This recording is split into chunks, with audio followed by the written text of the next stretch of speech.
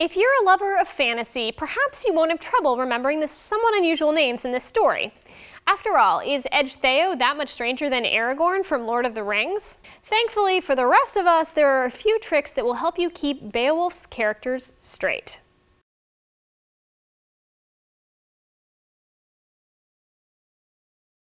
There are exceptions to every rule, but here are a few rules when it comes to Beowulf's cast. Rule number one, the cast can mostly be divided into three categories, the Danes, the Geats, and the monsters.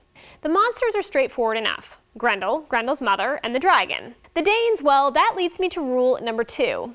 Almost every Dane's name combines the letter R with a vowel, mostly E's and O's. Hrothgar, Hrethric, even Unferth.